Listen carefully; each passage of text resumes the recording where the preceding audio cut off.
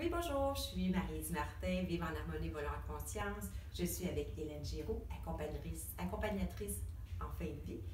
Euh, j'aimerais qu'on parle de ton deuxième livre, c'est que les mourants m'ont enseigné l'apprentissage de la vie au seuil de la mort.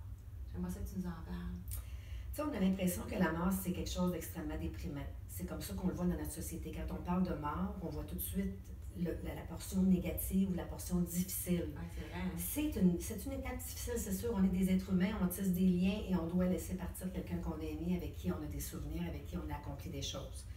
Mais en même temps, on oublie de regarder un autre aspect, en fait, justement parce qu'on ne côtoie pas beaucoup la mort. Moi, j'ai ce privilège-là de pouvoir côtoyer régulièrement des gens. Et je me suis rendu compte qu'il y avait énormément de choses euh, positives. Il y a toujours euh, les deux aspects dans une vie. Hein. Il y a toujours la lumière et la noirceur, le jour et la nuit, le, le, chaud et le froid. Il y a toujours les contrastes. oui, tout à fait. Mais dans la mort, il y a aussi ces aspects-là.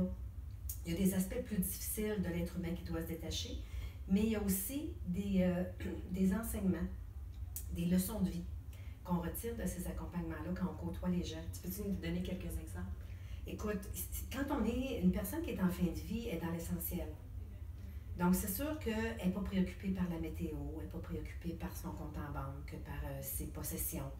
Euh, qu'est-ce qui reste à la fin, en fait, c'est toutes les relations qu'on a entretenues avec les gens, c'est nos accomplissements, euh, c'est ce qu'on a laissé au monde avant de partir.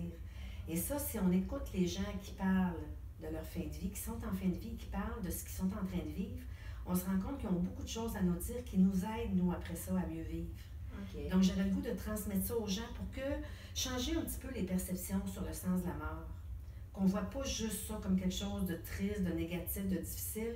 Il y a du positif. Il y a aussi du positif parce que la vie est présente jusqu'à la fin. OK. Ah, merci. Donc, ce n'est que des témoignages, ce livre-là.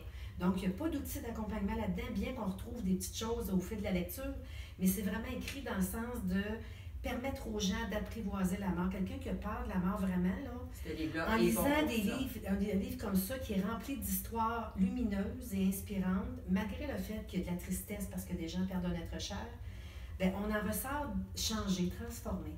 OK. Donc, j'invite les gens qui ont vraiment peur de la mort à peut-être débuter par ce livre-là même, pour se rendre compte qu'il y a les deux aspects toujours, même dans la mort. OK, parfait. Et on peut se le procurer dans toutes les librairies dans tous les librairies. Ben, merci beaucoup, Hélène. Ça me fait plaisir. Au revoir. Au revoir.